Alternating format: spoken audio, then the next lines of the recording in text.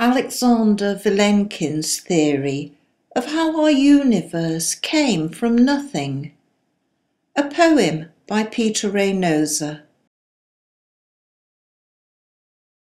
O Slavic child from the barbaric edges of the Western world, O civilized, enlightened, Spartan American beast, bravely whispering a demonic theory of primeval creation that even Satan wouldst not dare to ever partake or fiendishly feast. Divining like an evil oracle an unmerciful truth beyond all earthly words and thoughts, trumpeting a view of Stygian origins that holy men of our most sacred religions cannot fathom, but still have valiantly, hopelessly fought. Yet one mystics may have both sensually experienced and also unwisely, evilly, and self damningly sought. What roamed before the infinity of timelessness and the providence of boundless space? What travelled before any of our dimensions or the primordial energy and the vile materialism of our disgrace?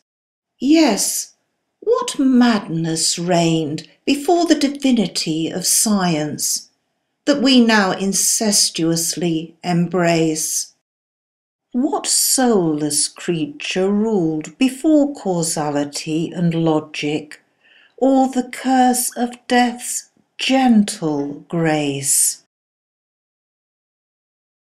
Ye saith the universe begat out of nothing, even though this be beyond all common sense.